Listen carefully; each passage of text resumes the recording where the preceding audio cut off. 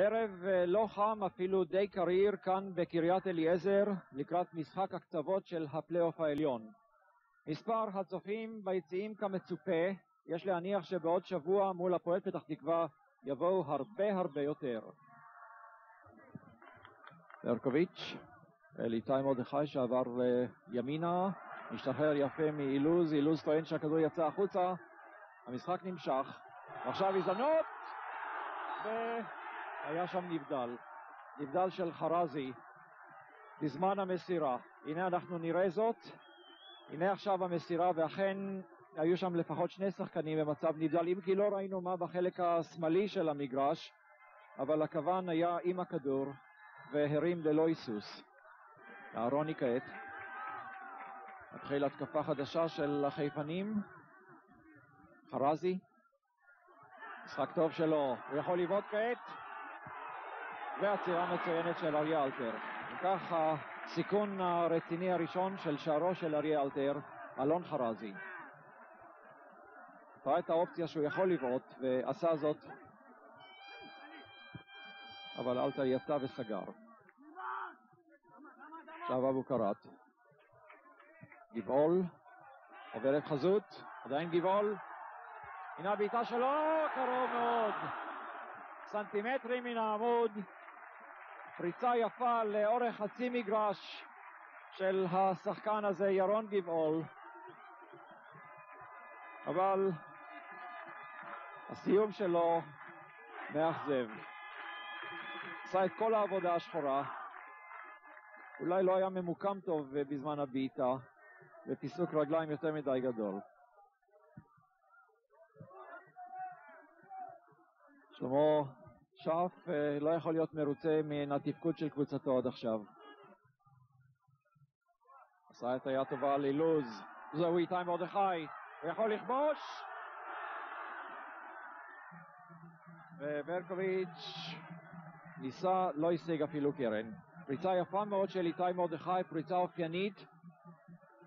היה שם צפוף מאוד. ניסה להגיע למצב אבקה, אבל אלתר יצא היטב. דיקסטרה. זאת נעדף על ידי גבעול. כמעט נחטף שם על ידי עטר, אבל עכשיו איתי מרדכי מכניס עכשיו את חרזי, מכין את הכדור לעטר, הנה הבעיטה שלו, שער עצמי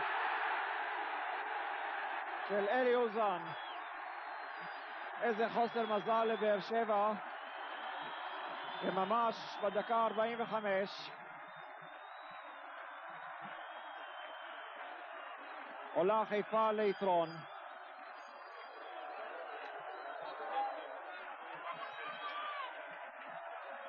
עטר קיבל את הכדור לבעיטה, הכדור היה יוצא החוצה מכל מקום,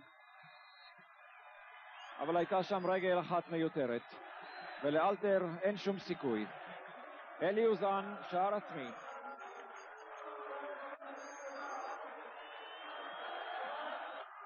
איתי מרדכי משמאל, מלכין הולך לבד, ועצירה מצוינת של אריה אלתר. הקהל אוהב את מלכין, הוא תמיד לוקח יוזמה, פריצה מהירה יפה שלו, בועט בין שני שחקנים, אבל אריה אלתר יצא קדימה וקלט. הנה שוב מלכין עם הכדור, מעביר את הכדור אל גבעול, איתי מרדכי פותח שמאלה, עדיין גבעול, אולי הוא יבעט גם כן תוך כדי ריצה, לא, מעדיף למסור עכשיו לאתר, הכדור בעמוד, קרוב מאוד לשער שני, אתר במחצית הזאת. החליט אולי להיות יותר פעיל, להתעורר קצת מהמשחק הרדום שלו. הוא היה ממש בקו אחד עם ההגנה, לא בנבדל, הנה הבעיטה ברגל ימין, וזה פגע בחיבורים. אלקוביץ' עולה עם הכדור כשחרזי מימינו, נכנס יפה, אין נבדל, זה חייב להיות שער, ואלתר עוצר, חוטף את הכדור ממש בשנייה האחרונה. משחק מבריק של אריה אלתר אחרי התקפת בזק של מכבי חיפה. הנה המסירה של ברקוביץ'. לא היה נבדל. חרזי אחד על אחד מול השוער, עובר אותו ותראו את אלתר מושיט יד ברגע האחרון ומונע שער בטוח. עכשיו דיקסטרה עולה עם הכדור.